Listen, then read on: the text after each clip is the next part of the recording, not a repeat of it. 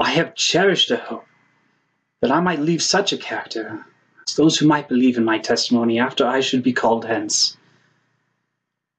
I have been sensitive on this subject, so you would be under the circumstances had you stood in the presence of John, our departed brother Joseph, to receive the lesser priesthood, and in the presence of Peter, to receive the greater, and looked down through time and witnessed the effects these two must produce.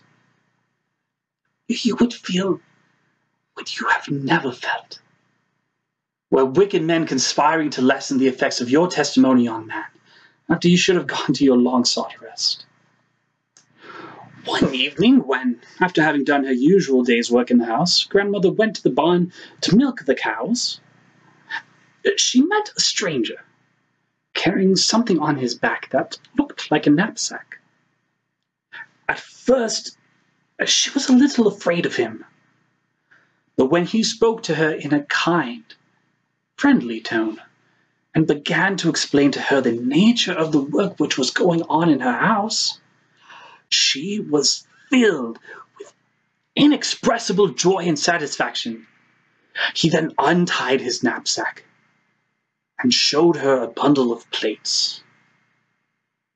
He turned the leaves over, leaf after leaf, and also showed her the engravings upon them.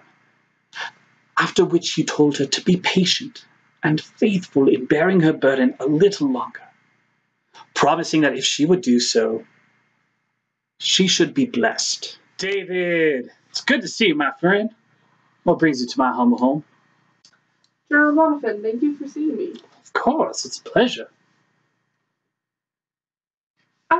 I'm wondering if you might sign a document for me.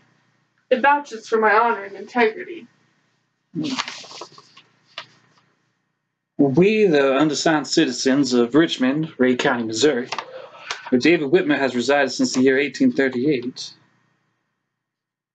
certify that we have been long and intimately acquainted with him. Know him to be a man of the highest integrity and of undoubted truth and veracity.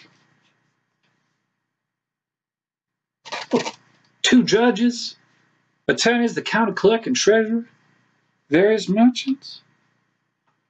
Well, Dr. Mosby and even the postmaster, there are 20 men here. I saved a spot at the top for you.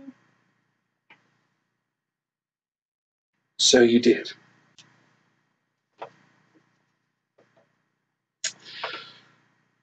I know few men with more honor and integrity. Now, now, please sit down and tell me what this is all about. We'll be the ones telling you what to do. Oh, you want this to end? Just tell us it was all a lie. What was a lie? That book, that Mormon Bible. How can I deny what I know to be true? Oh, now what do you think of your God when he don't save you?